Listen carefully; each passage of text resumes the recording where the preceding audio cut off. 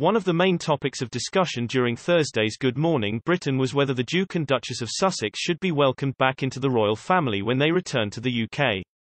The couple are due to be reunited with the Queen and Prince Harry's family in celebration of the Jubilee and Trooping of the Colour. Adil Ray and Charlotte Hawkins discussed the royals' return during Thursday's ITV show, and expert Angela Levin told the host she was against the couple coming back. Adil began by pointing out why shouldn't the Queen want her entire family all together again. Who are we to deny that? He asked the guest before Angela ranted. Shush is the mother, the grandmother, she should make the decision. Shush is 96 and it's her day but I don't think you can then influence all the population to feel exactly the same.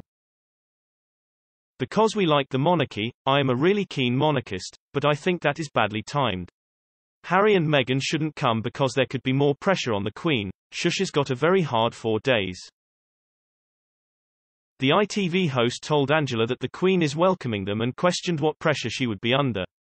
No, because Shush is not very well, Angela hit back. Shush has got mobility problems and I think that for someone of her age to have four full days. They've been invited, they've been given full security and the Queen has endorsed it, Adil interrupted. So how in any way is going to be bad for the Queen? Disagreeing with Adil, Angela blasted. I think that people who don't want them to come would agree with me that their behavior has been appalling and therefore they should be ashamed and they should not come and try to grab a few shots that will help them with their Netflix career. However, royal commentator Emily Andrews disagreed with Angela, branding her opinion that Meghan and Harry will put pressure on the Queen as ridiculous. The Queen invited them with grace and it was a magnanimous gesture and she said, You're my family, please come, she explained. The expert went on to point out that the Queen not only invited him to St. Paul's Cathedral, but also to the Trooping of the Colour.